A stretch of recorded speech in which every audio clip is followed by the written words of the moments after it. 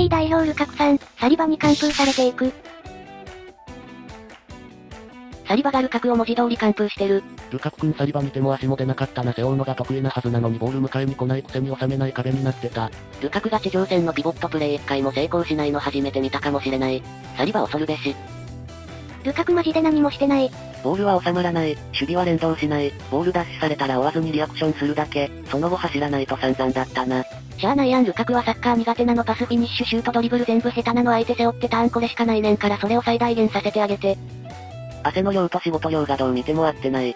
今日こそルカク来ると思ってたけどノーゴールで大会去るとは。今日の展開を見てたならさっさとルカクに変えてトロサールのがまだ可能性あったんじゃない？最後までルカクがあんまピリッとしなかったなルカクが最後までルカクしてた。